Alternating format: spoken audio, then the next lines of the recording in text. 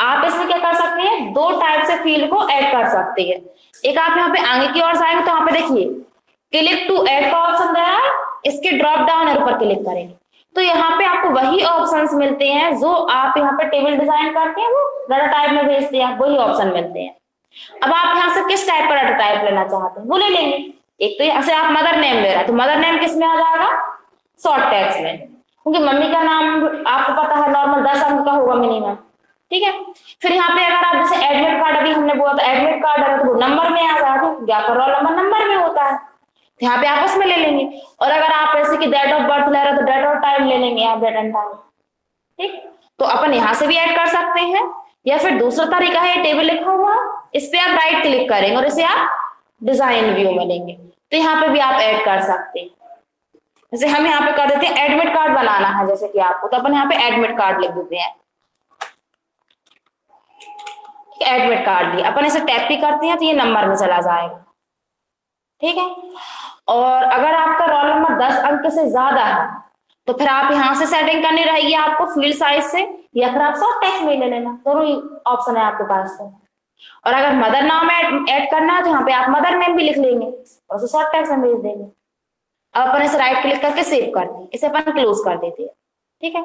अब जैसे कि ये जो फॉर्म है, इसमें आपको ऐड करना है हम दूसरा फॉर्म ऐड करना मतलब जनरेट करना बताएँगे इसमें हम सिर्फ़ आपको बता रहे हैं अभी। तो आप इस पर राइट क्लिक करेंगे इसे डिज़ाइन व्यू में लेंगे फिर इस ऑप्शन पे क्लिक करेंगे। तो यहाँ पे आप देखिए एडमिट कार्ड की फ़ील्ड आपको देखने को नहीं मिल रही है। ठीक है? तो क्या करेंगे आप एडमिट कार्ड की फ़ील्ड देखने के लिए? ये जो ऑप्शन आ रहा है सो ऑल डिविस आप इस पे क्लिक करेंगे। फिर आपको सबसे नीचे इधर पे ये माउस पॉइंटर दिख रहा है आपको? जो सरस्वती जी रखी है ना, उसके ऊपर दिख रहा है। वो वहाँ पे आपको एडमिट कार्ड की फ़ील्ड मिल जाएगी। मतलब इस ऑप्शन पे आपको क्लिक करना रहेगा पहले इससे। ठीक है, अब अपन यहाँ पे क्या करते हैं? अलग से ही एक एडमिट कार्ड के लिए जनरेट करते हैं अपन फॉर्म तो फॉर्म डिज़ाइन करना है आपको। तो आप क्या करेंगे यहाँ पे? फॉर्म डिज़ाइन पे क्लिक करेंगे। इस पे क्लिक करेंगे और यहाँ से आप टेबल ले लेंगे आपकी। अब आपको क्या क्या फील होती है एडमिट कार्ड में? Name father name roll number application number और सब्जेक्ट्स के नाम होते हैं। तो अपन ने सब्जेक्ट्स के नाम नहीं लिए हैं तो अपन नॉर्मल इंफॉर्मेशन ले लेते हैं इसमें। जैसे कि आईडी नंबर आपको लेना है तो आप ले सकते हैं, लेकिन हमें नहीं लेना है। हमें सिर्फ़ ओनली क्या लेना है? नेम फादर नेम इस पर डबल क्लिक करते जाएँगे आप तो आ जाएँगे। इस बाद कोर्स कि किस कोर्स में है ये। और यहाँ पे एड्रेस भी लेना थी सिटी आ रही सिटी भी ले सकते हैं आप। इसके बाद फ़ोटो होता है आपका एडमिट कार्ड पे तो यहाँ पे अपन फ़ोटो ले लेते हैं। इसको मूव करके रख देते हैं यहाँ पे, इसको हटा देते हैं ठीक है? इसके बाद अपन एडमिट कार्ड नंबर ले लेते हैं। अब देखिए, आपको ये एडमिट कार्ड नंबर ऊपर आ रहा है तो आप इसे अगर नीचे रखना चाहते हैं तो नीचे मूव करके रख देंगे। और अगर सबसे ऊपर लेना चाहते हैं, क्योंकि आपको पता है ऊपर ही होता है एडमिट कार्ड नंबर तो अपन क्या करेंगे इसे? कंट्रोल से ऑल सेलेक्ट करेंगे, और कंट्रोल के साथ अपन इसको अनसेलेक्ट कर देंगे। और बाकी फ़ील्ड को अपन थोड़ा मूव करके नीचे रख लेंगे।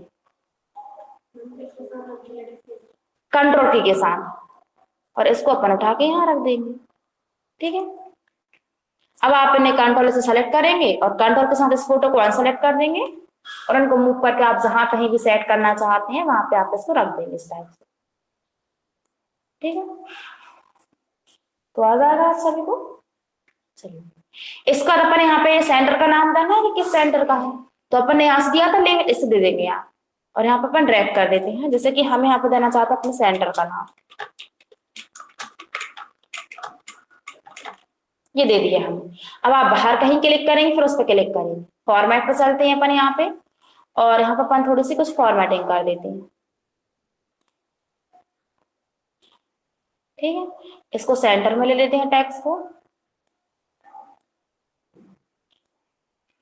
इसके बाद आपको यहाँ पे इमेज भी लेना है। इसमें और भी कुछ फॉर्मेटिंग कर दें अपन यहाँ पे टैक्स ले लेते हैं। ठीक? और इन फील्ड्स को भी अपन थोड़ा सा कलर में कर देते हैं। जैसे कि हमें यहाँ पे कलर लेना है।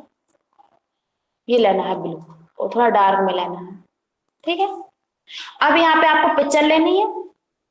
तो पिक्चर लेने के लिए क्या करेंगे आप यहाँ पे? ये ये तो बैकग्राउंड इमेज है तो आप यहाँ पे डिज़ाइन पे क्लिक करेंगे। यहाँ पे इंसर्ट इमेज का ऑप्शन मिल रहा है इमेज भी ले सकते हैं। और लोगो लेंगे ना तो आपने लोगो वाला ऑप्शन कैसे मतलब पढ़ा है? एमएस वर्ड किया था हेडर देते थे आपके पेज के ऊपर लेता था वो हेडर तो लोगो आपका पेज के ऊपर आता है। ठीक है? और अगर आप इमेज के द्वारा देंगे तो जो एरिया आपने यहाँ पे सेलेक्ट किया हुआ है ना, उस एरिया में आप यहाँ पे ड्रैग कर सकते हैं अपने अकॉर्डिंग और अगर आप इस लोगो के द्वारा लेंगे तो ये ब्लैक ब्लैक पट्टी आ रही है ना यहाँ पे, इसके इधर पे देगा वो हेडर में। तो आपको जैसे देना हो, आप यहाँ पे यूज़ कर लेना। हम यहाँ पे इंसर्ट इमेज लिखेंगे और ब्राउज ऑप्शन सेलेक्ट करते हैं अब आप यहाँ से लोकेशन सेलेक्ट करेंगे, जहाँ कहीं भी आपकी इमेज होगी इंसर्ट तो आप देखिए, आपका माउस पॉइंट इस टाइप में आता है। अब आपको जहाँ कहीं भी इमेज लेनी है, वहाँ पे आपको ओनली ड्रैग करना है इस टाइप से। ठीक? कंट्रोल से कॉपी कर लेना कंट्रोल से पेस्ट कर देना। तो उसी के पास में आ जाएगा और आप यहाँ पे इसको मूव करके रख देंगे। ठीक है? इस टाइप से। आपको बटन वगैरह देनी है तो वो आप दे देना हम अभी नहीं दे रहे। अभी सिर्फ़ हम आपको यहाँ पे कहते हैं राइट क्लिक करते हैं और इसे सेव करते तो सेव अपन एडमिट कार्ड से कर दें।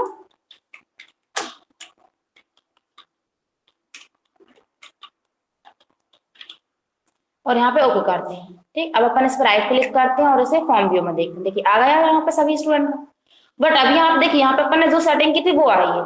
इसमें एडमिट कार्ड नंबर नहीं आ रहा है क्योंकि अपन ने इसे फिल ही नहीं किया था तो अपन यहाँ पे फिल करते हैं। जैसे कि हमने इसका कर दिया। फिर अपन नेक्स्ट चलते हैं। नेक्स्ट है अपना। फिर अपन इस टाइप से यहाँ पे नेक्स्ट नेक्स्ट करके फिल कर देंगे। ठीक, अब अपन इस राइट क्लिक करके सेव कर देते हैं। तो ये जो अपन एडमिट कार्ड फिल किया हुआ है ना, वो आपके यहाँ पे टेबल में पहुँच जाएगा नंबर जबकि आपको पता सिर्फ़ अपन ने तो फ़ील्ड ऐड की थी। देखिए, पहुँच गया। और जिसके लेंगे आप, यहाँ पे टेबल में फिल करेंगे तो वो फॉर्म में पहुँच जाएँगे।